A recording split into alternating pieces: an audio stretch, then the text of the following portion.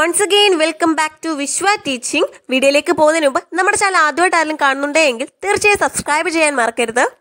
എന്താണ് Basel norms ഇതൊരു request video ആണ്. അപ്പോൾ സെക്കൻഡ് മോഡുകളുടെ ബാക്കി നോട്ട്സ് ഉടനെ ഇടുന്നതായിരിക്കും. അപ്പോൾ നോക്കിയേ എന്താണ് ബേസൽ നോംസ് നോക്കിക്കേ Basel norms a set of norms for banks aimed at mitigating the risk and strengthening the capital structure of the banks of member countries നോക്കിക്കേ. നോക്കിയേ ബേസൽ നോംസ് എന്നത് ബാങ്കുകൾക്കുള്ള സെറ്റ് ഓഫ് നോംസ് ആണ് അല്ലേ അതായത് മാനദണ്ഡങ്ങളുടെ ഒരു കൂട്ടമാണ് എന്തെന്ന് പറയുന്നത്? ബേസിൽ നോംസ് എന്ന് പറയുന്നത്. അപ്പോൾ മെമ്പർ കൺട്രീസിലെ ബാങ്കുകളുടെ ക്യാപിറ്റൽ സ്ട്രക്ചർ സ്ട്രെങ്തേൺ ചെയ്യാനും അതുപോലെ തന്നെ എന്താണ് റിസ്ക് കുറയ്ക്കുക എന്നതൊക്കെയാണ് ഇതിന്റെ ലക്ഷ്യം എന്ന് പറയുന്നത്. നോക്കി ഈ ഒരു ബേസൽ നോംസ് സെറ്റ് ചെയ്ത് അല്ലെങ്കിൽ ഫോമുലേറ്റ് ചെയ്ത ആരാണ്? ബി സി ബി എസ് അഥവാ Basel committee on banking supervision ആണ് ഇത് സെറ്റ് ചെയ്തത്. അപ്പോൾ ഇത് ബേസൽ നോംസിനെ എഗൈൻ മൂന്നായിട്ട് തിരിക്കാം നമുക്കല്ലേ? Basel one Basel two and Basel three നോക്കി എന്താണ് Basel one The Basel Committee on Banking Supervision in 1988 published a set of minimum capital requirements for banks which focused entirely on credit risk. നോക്കിക്കേ ഈ ഒരു Basel committee അതായത് Basel committee on banking supervision B C B S ആയിരത്തി തൊള്ളായിരത്തി എൺപത്തി എട്ടിലാണ് ഈ basal വണ്ണ publish ചെയ്തത് അല്ലേ? ഇത് എന്റയർലി ഫോക്കസ് ചെയ്യുന്നത് എന്തിലാണ്? ക്രെഡിറ്റ് റിസ്കിലാണ് എന്താണ് ഈ ക്രെഡിറ്റ് റിസ്ക് എന്ന് പറയുന്നത്? അതായത് ഏതെങ്കിലും ഒരു ഡെപ്റ്റ് എടുത്ത വ്യക്തിക്ക് അത് അടയ്ക്കാൻ പറ്റാതെ പോകുന്നതാണ് risk of counter party failure എന്ന് പറയുന്നത്. അതായത് എന്തെങ്കിലും ലോൺ എടുത്ത ശേഷം തിരിച്ചടയ്ക്കാൻ പറ്റാത്ത കേസിലാണ് ഈ ഒരു അങ്ങനെയുള്ള ആ ഒരു റിസ്കിനെയാണ് ക്രെഡിറ്റ് റിസ്ക് എന്ന് പറയുന്നത്. അപ്പോൾ ആ ഒരു ക്രെഡിറ്റ് റിസ്കിനെ ആയിരിക്കും ഈ ഒരു ബേസിൽ വന്ന് ഫോക്കസ് ചെയ്യുന്നത്.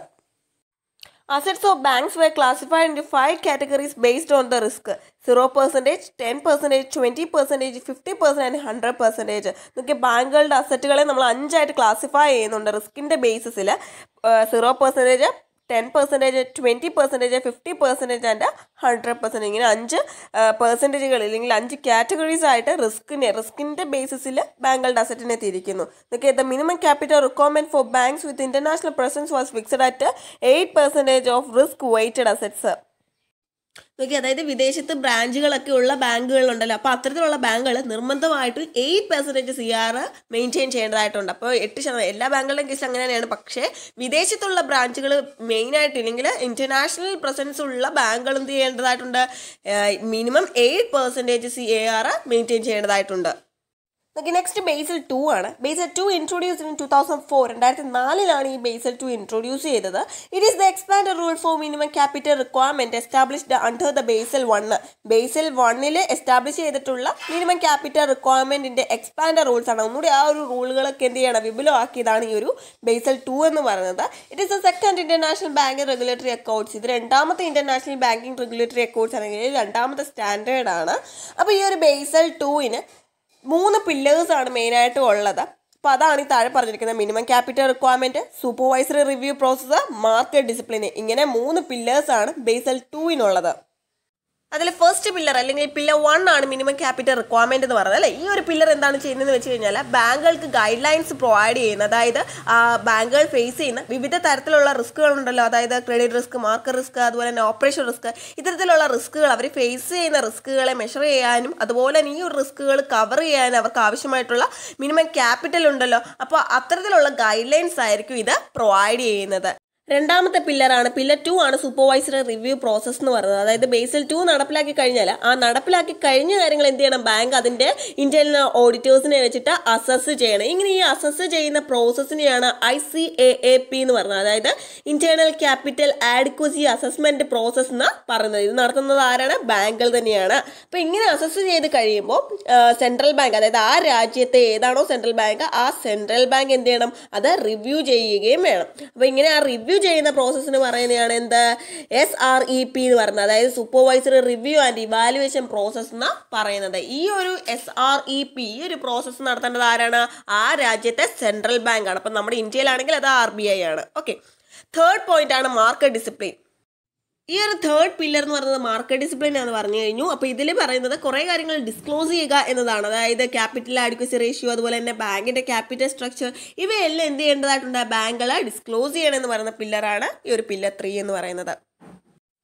ഈ ഒരു ബേസൽ നോംസ് എങ്ങനെയാണ് അപ്ഡേറ്റ് ചെയ്തത് അല്ലെങ്കിൽ ആ ഒരു അപ്ഡേഷനിലേക്ക് എങ്ങനെയാണ് വന്നത് എന്ന് പറയുന്നതാണ് ഈ ഒരു ബേസൽ ത്രീയിലെ ഫസ്റ്റ് പാരാഗ്രാഫ് നോക്കി in two thousand eight the crisis in the U S banking sector wrecked havoc throughout the world and the was a need to update Basel norms to reduce risk in the banking system further നോക്കിക്കേ രണ്ടായിരത്തി എട്ടിൽ ലോകത്ത് ഒന്നടങ്കം ഉണ്ടായ ഒരു സാമ്പത്തിക തകർച്ച അതായത് ഫിനാൻഷ്യൽ ക്രൈസിസിന് ശേഷമാണ് ബേസൽ ടു ഒന്നുകൂടി അപ്ഡേറ്റ് ചെയ്യേണ്ടതായിട്ട് അല്ലെങ്കിൽ ഒന്നുകൂടി അതൊന്ന് മോഡിഫൈ ചെയ്ത് എടുക്കേണ്ടതുണ്ട് എന്ന് ബേസൽ കമ്മിറ്റിക്ക് തോന്നിയത്. അപ്പോൾ അത് പ്രകാരമാണ് ഈ ഒരു ബേസൽ ത്രീ ഫോം ചെയ്തത്. നോക്കിക്കേ according to B C B S അതായത് ബേസൽ കമ്മിറ്റിയുടെ കേസ് തന്നെയാണ് പറയുന്നത്. Basel three is a comprehensive set of reforms measures to strengthen the regulation supervisions and risk management of the banking sector നോക്കിക്കേ ബാങ്കിന്റെ നിയന്ത്രണങ്ങൾ ഒന്നുകൂടി ശക്തിപ്പെടുത്തുക. അതുപോലെ തന്നെ ബാങ്കിന്റെ മേൽനോട്ടം അതുപോലെ തന്നെ എന്താണ് റിസ്ക് മാനേജ്മെന്റ് ഇതൊക്കെ ശക്തിപ്പെടുത്തുക എന്നുള്ള ആ ഒരു മോട്ടീവോട് കൂടിയുള്ള ഒരു കംപ്രഹെൻസീവ് സെറ്റ് ഓഫ് റിഫോംസ് ആണ് എന്തെന്ന് പറയുന്നത്? ബേസൽ ത്രീ എന്ന് പറയുന്നത്.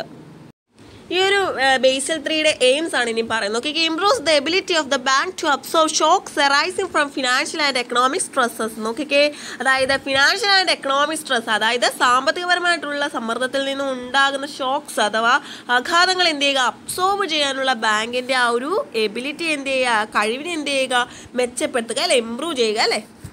രണ്ടാമത്താണ് improves risk management and governance risk management governance ഒക്കെ ഇംപ്രൂവ് ചെയ്യുക. Third point Nokia strengthen bank transparency and disclosures ബാങ്കിന്റെ ഒരു ട്രാൻസ്പെറൻസി അതായത് ആ സുതാര്യത അതുപോലെ തന്നെ ഡിസ്ക്ലോഷേഴ്സും ഒക്കെ എന്ത് ചെയ്യുക? സ്ട്രെങ്തൻ ചെയ്യുക ശക്തിപ്പെടുത്തുക അല്ലേ? ഈ ഒരു ബേസൽ ത്രീയുടെ ഫീച്ചേഴ്സ് ആണ് താഴെ നോക്കിയാൽ minimum capital requirement counter cyclical measures leverage and liquidity measures